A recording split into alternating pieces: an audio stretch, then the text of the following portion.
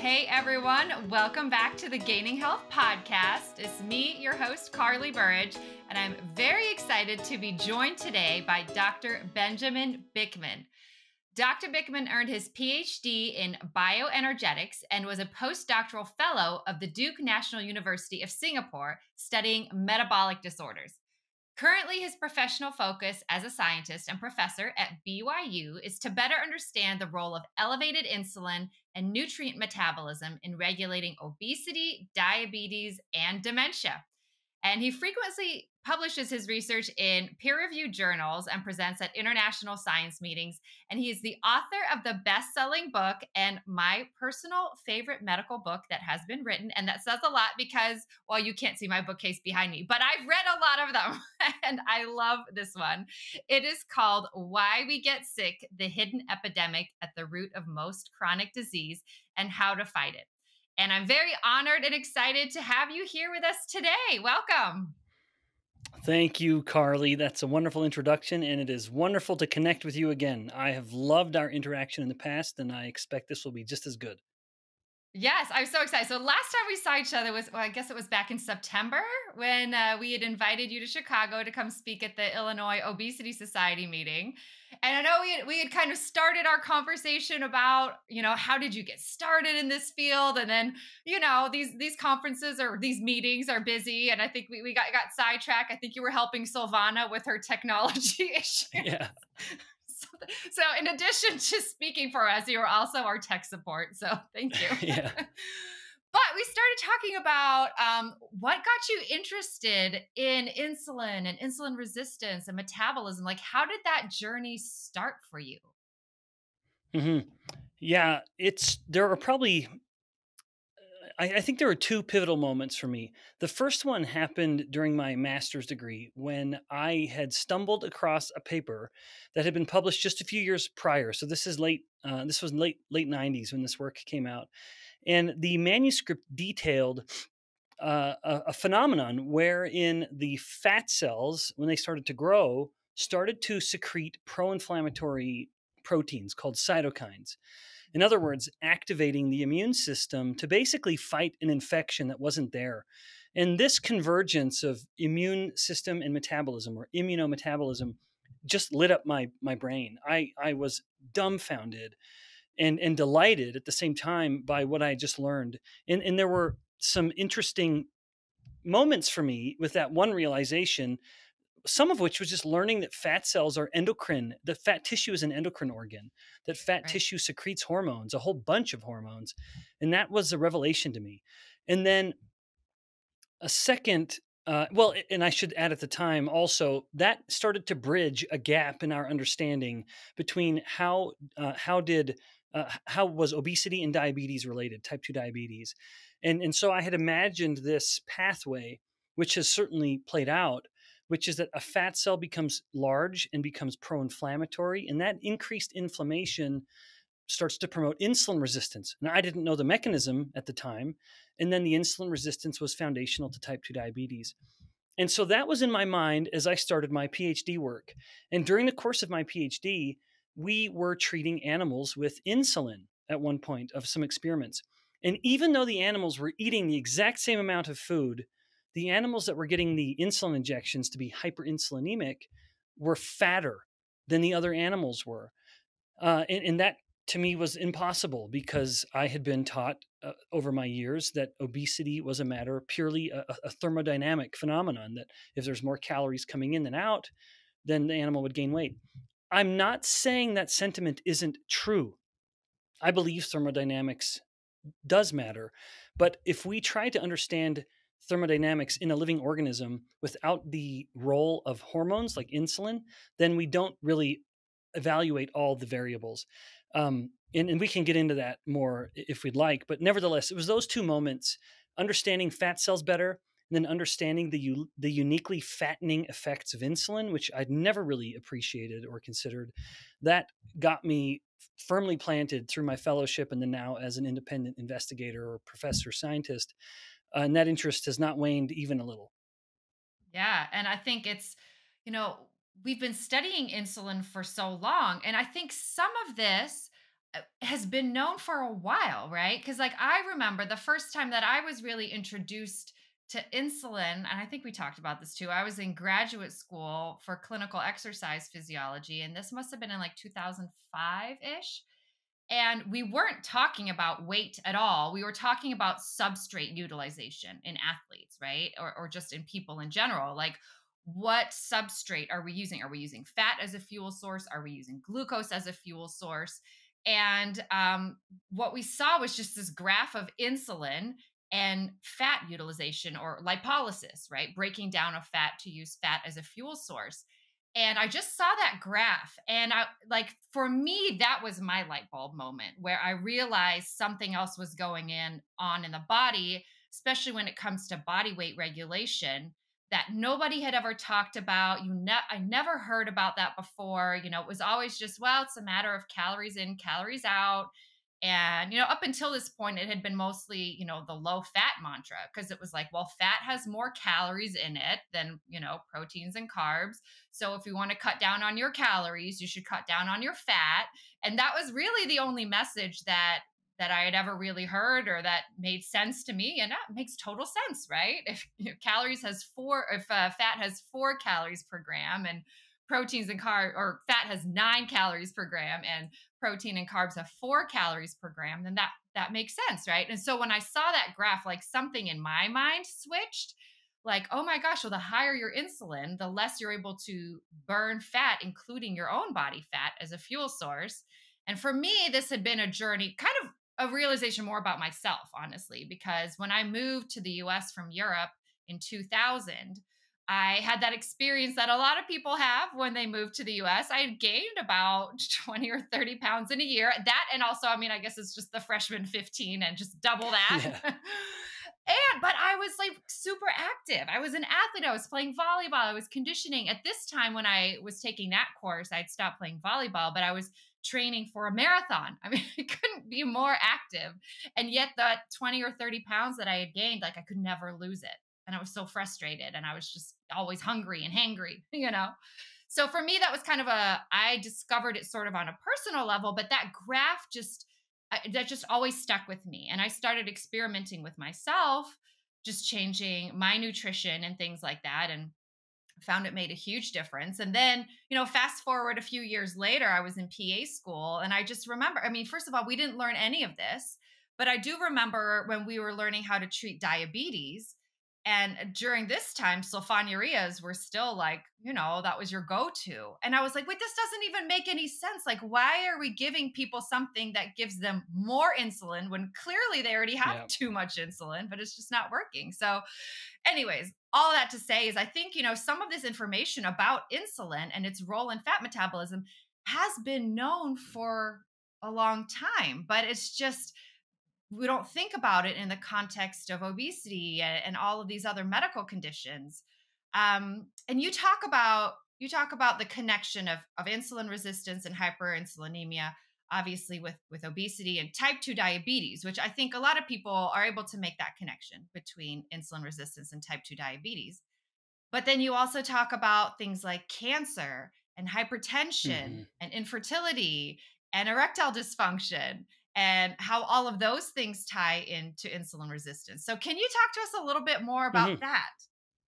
Yeah, yeah, and and before we get into the peripheral ones, even type two diabetes, I, I like the way you teed this up by pointing out some of the flaw in how we medicate a person with type 2 diabetes which which is reflective of our glucose centric paradigm and what i mean by that is we look at diabetes as diseases of glucose and that's not wrong it's just not as right as the alternative, which is that these are diseases of insulin and they're diseases of opposites. Whereas type 1 diabetes is a disease of an insulin deficiency, it's, it's absent.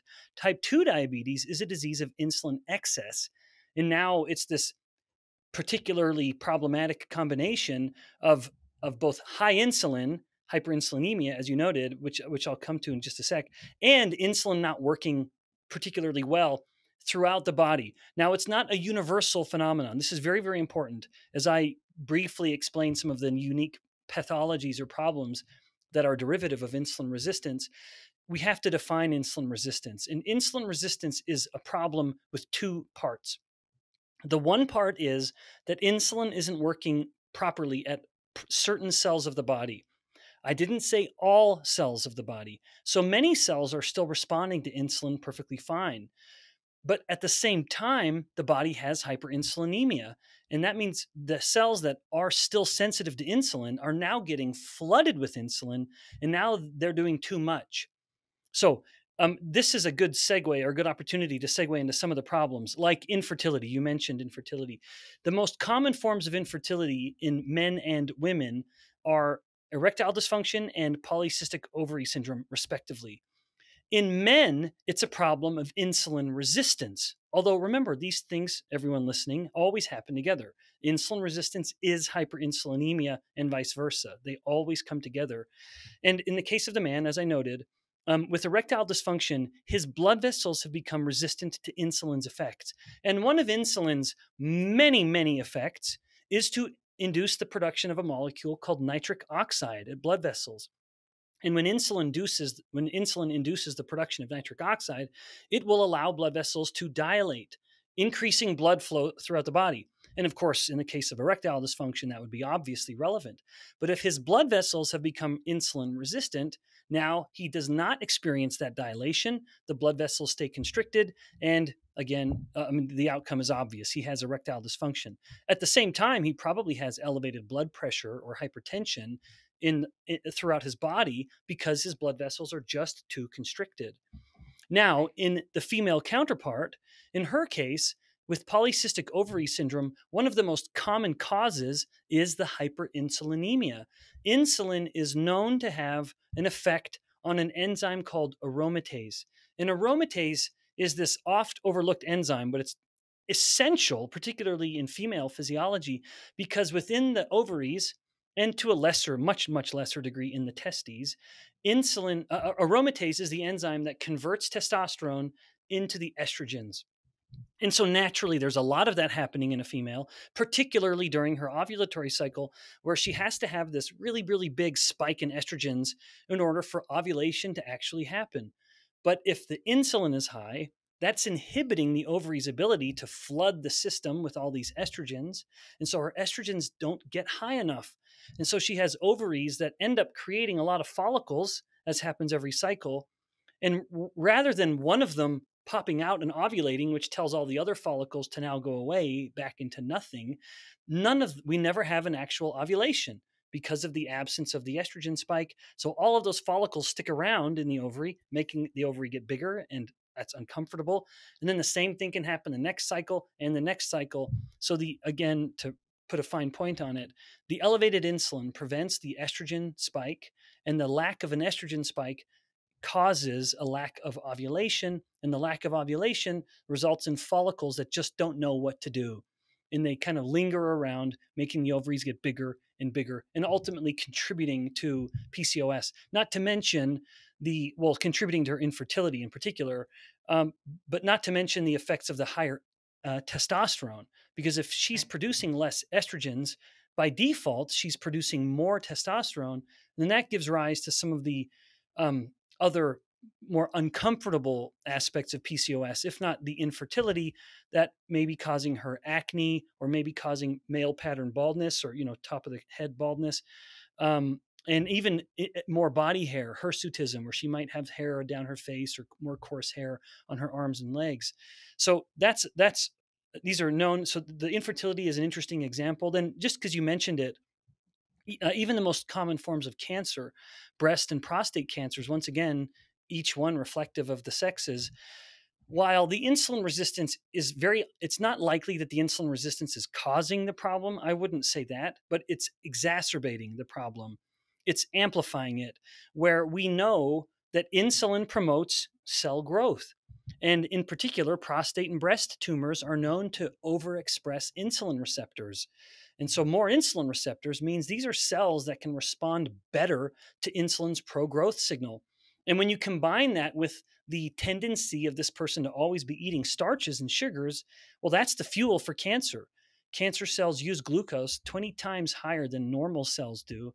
And so not only are we telling the cells to grow because of the high insulin, which is rel- uh, which is always present in insulin resistance, but then we're giving them all the fuel they need to grow by flooding the system with all that glucose. So eh, we could go on and on through other tissues of the body, but this is a, the primary reason why I so heartily and without any regret to this day have devoted my career to insulin resistance. It was it was because i learned more and more yes this is a problem relevant to type 2 diabetes which alone makes it important but when you consider the fact that insulin resistance is a fundamental part of all of the what i like to call the plagues of prosperity all of these modern chronic diseases then we have tremendous advantage because rather than an individual patient taking their pill for their PCOS and their migraine headaches and their hypertension, um, what we can do is educate them on the fact that all of these, while each having distinct causes, share a common cause in the form of insulin resistance. Then we could say, you have problems associated with insulin resistance. Then the patient would say, Well, how can I improve my insulin resistance? Our response would be, The best way is the food we eat because the food we eat is either the culprit or the cure. It's either contributing to the problem or it's contributing to the cure. And so, with a little bit of education and some help, because it can be hard to change habits, of course, the patient can resolve their insulin resistance, thereby reducing their risk of virtually every chronic disease. Yeah. I mean, it's amazing how much affecting one hormone, how much that can affect the whole body. And you said just every cell in the body has insulin receptors, right? And we only hear about insulin's role in medicine. We typically only hear about insulin's role as it relates to blood glucose regulation. Mm-hmm. But you say that that's its most famous role, but that's certainly right. not its only role. It has many roles and perhaps not even its most important role. So I, I absolutely think, you know, yes, you're quoting me well. I would I, it is not it is not its most important. It's just the most famous. Insulin does it is so essential to a cell knowing what to do with the energy that it has available to it that every literally as you noted every cell has insulin receptors. The body does not know what to do with its energy in the absence of insulin which is why an absence of insulin is a death sentence.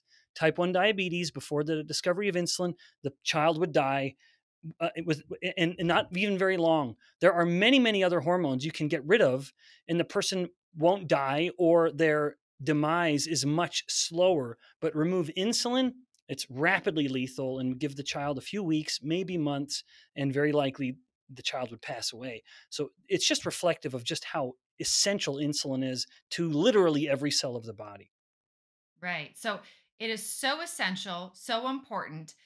And now we're running into the problem that you say over 50% of the US population has insulin resistance, and the vast majority of people have no idea, right? And I would even say most medical providers have no idea about this. You start talking about insulin the only thing they think is well that's you know something that you know we give to type 2 diabetics when they get to that point where if they, if they need insulin or to type 1 diabetics.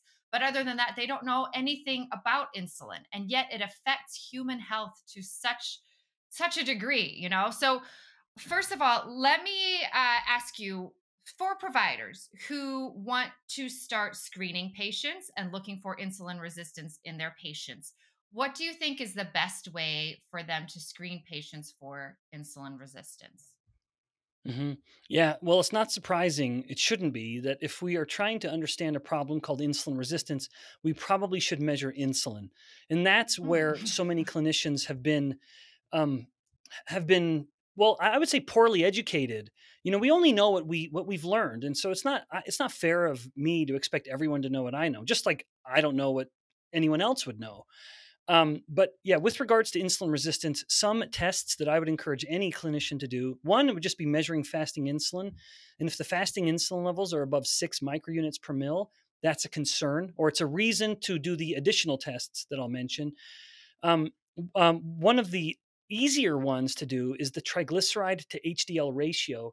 And that is just triglycerides divided by HDL.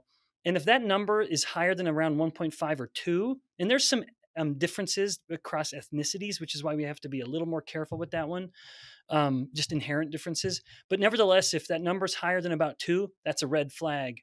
Um, another one that's very, very predictive um, is the triglyceride glucose index. And this is one that just keeps getting, I'm amazed at how many papers just keep coming out about this one. And it's a little more of a complicated formula, so anyone could look it up. But the nice thing about the triglyceride glucose index is that we always get those numbers. We always get glucose. We always get triglycerides, just like we always get HDL. So that other ratio I just mentioned is helpful. And then my favorite one um, but it requires measure another atypical marker which is free fatty acids. We don't normally measure free fatty acids. Now you and i know this but i just want to pause for just a second and just teach this because i'm amazed at how many of my own students you know university students who've gone through nutrient metabolism courses they don't know the difference between free fatty acids and triglycerides so tri- tri- the triglyceride number on the clinical test is the amount of the actual molecule. Well, it's kind of a ratio. It's a kind of an assumed number. This the amount of this stored version of, of fat that is moving through the blood on lipoproteins like chylomicron or VLDL or LDL. That's how the triglycerides are carried, and it's a fraction of those um, that we rely on to give us the number of the, the triglycerides number.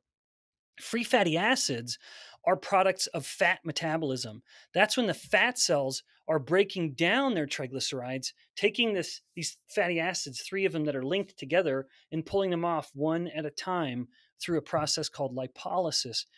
And so free fatty acids are a reflection of the amount of fat that's being broken down from fat cells to be burned by the body normally and what happens is this in this which is one of the reasons i love it so much because it's both reflective of nutrient metabolism and it brings the target on the fat cell which i think is initially the most important cell in the progression towards insulin resistance. So when insulin is high as you noted in, in the lectures you learned about um, insulin will inhibit fat breakdown it inhibits lipolysis. So if an individual is eating a bagel, for example, their insulin is high, their free fatty acids will be low. That's what you'd see. Now, give the person six or seven hours, insulin's all gone, they're now in a fasted state. Insulin will be down, and free fatty acids will start creeping up because there's this disinhibition of lipolysis. Now, in other words, lipolysis can operate freely. So these two should always be in opposites. If insulin's high, free fatty acids are down, or vice versa.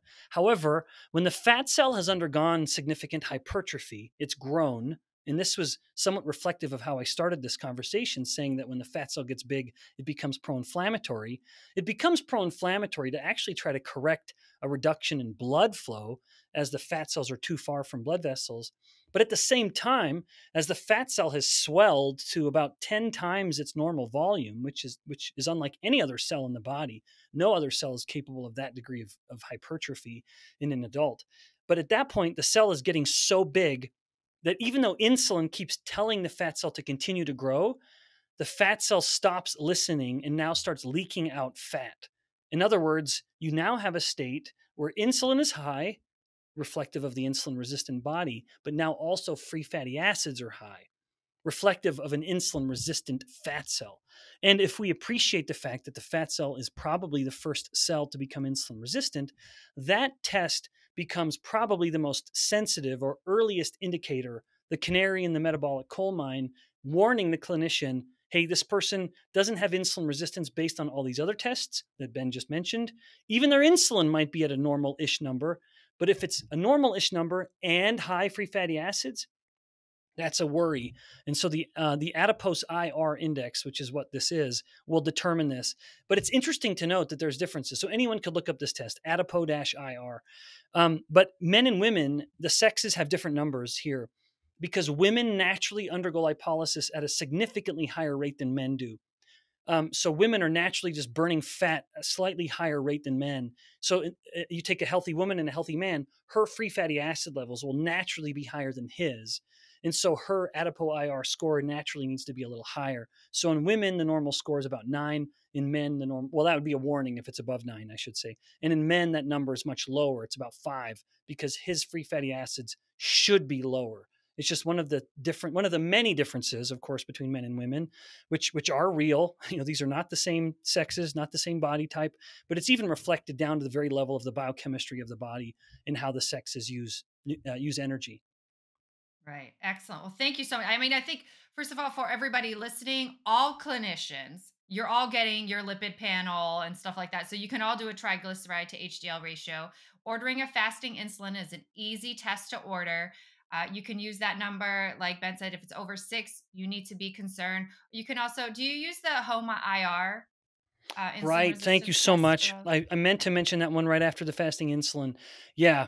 So I would actually kind of put it in that order fasting insulin, HOMA, and then all the others. Okay.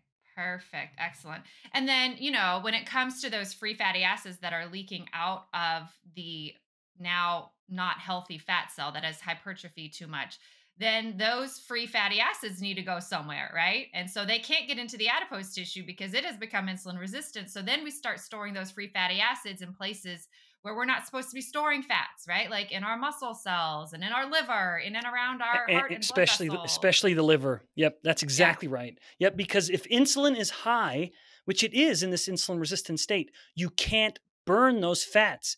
That's the problem. Normally, if free fatty acids are going up in the blood, it's because insulin is low and so, insulin is low, and so the body's burning the fat very readily. Because right. as you noted, if, if if if insulin is low, fat burning is elevated.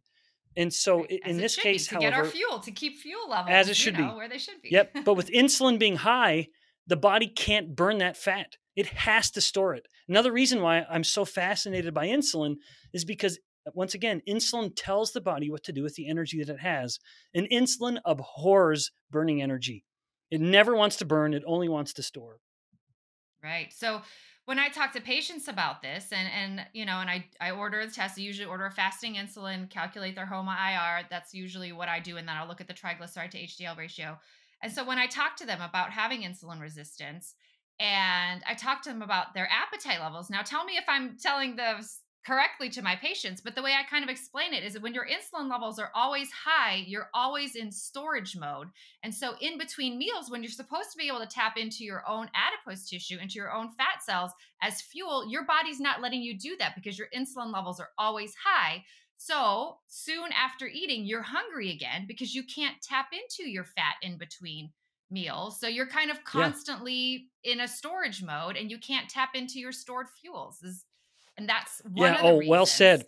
well said. And we this is that's right. And it is documented. There is there are human studies to confirm everything you just said, including have groups of people eat two meals that are identical in calories, and the one that elicits the higher insulin spike will invariably lead to greater hunger sooner. In other words, the yep. person gets hungrier sooner compared to the other meal, which had the same amount of calories but a more modest insulin spike. At the same time, another group, totally different lab, different study, found that when insulin spiked following a meal, the available energy, the energy availability they called it, which was the sum of all nutrients available in the blood, the sum of ketones, lactate, fatty acids, triglycerides, anything that could be a source of fuel, when they looked at the levels in the blood, when insulin spiked, they were all down. It followed, which which makes sense because insulin wants to right. tuck everything away out of the blood. It wants to store it, and so what is in the blood goes down, and that becomes a particular problem for the brain, which, unlike muscle and liver and fat cells, has no storage depot. It doesn't, you know, muscle and and muscle and liver both have not only glycogen but also triglyceride pools, and of course the fat cells have enormous triglyceride pools. The brain doesn't. So the brain is constantly dependent on the amount of energy that's available in the blood. And so if the energy in the blood starts to go down, the brain is panicking because it doesn't have its own reserve of energy it can rely on, unlike the other tissues I just mentioned. And so it starts demanding that the body start eating, in other words, promoting a sense of hunger, even though the person has hundreds of thousands of calories stored on their body, but the brain doesn't know that. It only can sense what's in the blood can't access it and it can't sense it. So yeah, I mean, I think that makes so much sense. And I think when I talk to my patients about that, it makes sense to them, right? And so then their next question is, okay, I'm understand. And then I also talk to them about, you know, the progression to type 2 diabetes, how insulin resistance happens probably 10 to 15 years before you ever start to see elevations in blood glucose, right? Fasting blood sugar stays normal for a long time. A1C stays normal for a long time while those insulin levels are rising, right? Because your your body's, yep. you know, th- that's how it's compensating. And so, but it gets to the point where the pancreas just can't make any more insulin, and that only at that point uh, do we start to see blood glucose levels go up? And so I think a lot of people are confused when I say, you know, I want to test you for insulin resistance and all this. They say, oh no, my primary care doctor, they they check my blood sugar, they said everything's fine, or or sometimes they say, oh, they told me to watch my sugars, and I look at their labs and they have full blown pre-diabetes, but nobody's ever mm-hmm. really mentioned it. They're just like, oh, just watch your blood sugars, but you're fine, you know. So anyway, so I have this conversation with them, and all, and I kind of tie it into their appetite and their weight and you know things are really starting to make sense to the patient and then of course their next question is what can i do about it right how yeah. can we reverse this so obviously this would be a whole podcast episode in and of itself but and you go into great detail that's why i love your book so much honestly because there's so much information in there uh, so many medical conditions that are affected by this that you go into great detail about how it is that insulin resistance and hyperinsulinemia contributes uh, or exacerbates, you know, to the development of all of these medical conditions. But then you also go into a lot of details about, you know, what can we do about it? So, could you list like maybe the top three things if we are if either we have patients listening or providers who want to kind of know what are the top three things I can tell people to do to help reverse this? Mm-hmm. Yeah. So the conventional, I'll start this by just pointing out the problems with the conventional approach, which is the low calorie or low energy approach. The problem with the low energy approach isn't that the idea doesn't have merit. Restricting energy has merit, where you want the person to use their own energy and shrink those fat cells, thereby improving. You know, there's fewer, there's less free fatty acids coming out, and now the fat cells are more insulin sensitive, and and they're less pro-inflammatory. Indeed, even becoming anti-inflammatory. Um, there's value in scrutinizing energy, but if low energy is the first step of this journey to improving metabolic health, then we put the patient in a very difficult position where they start to run out of energy in their blood. If they're still, if the cut, if the calories they aren't eating are insulin spiking calories, even though they're eating fewer calories, it would potentially cause the situation I just described, which is that the total amount of energy available, the nutrients available in the blood, drop, which starts pitting the patient against hunger. And hunger always wins. These strategies don't work long term. Not that the strategy itself doesn't have merit, but it shouldn't be the first step. The first step should be how can I lower my insulin without making myself hungry all the time? Where if insulin is low, you start using, you learn how to use your own body's energy for fuel, your own fat cells for fuel. And the best way eh, eh, you'd mentioned sort of three things. I, I I believe there are three fundamental pillars, each reflective of one of the or, or, reflected in one of the macronutrients. So, firstly, the first way to help a patient reduce their insulin, thereby becoming more insulin sensitive and accelerating metabolic rate and losing weight more easily, is to control carbohydrates. Now, I'm not saying we don't eat any, but and there are some nice ways to implement this idea or to put it into practice. And that is don't get carbohydrates that come in bags and boxes with barcodes. Let your carbohydrates come as whole fruits and vegetables. You eat them, you don't drink them, and then you can enjoy them freely.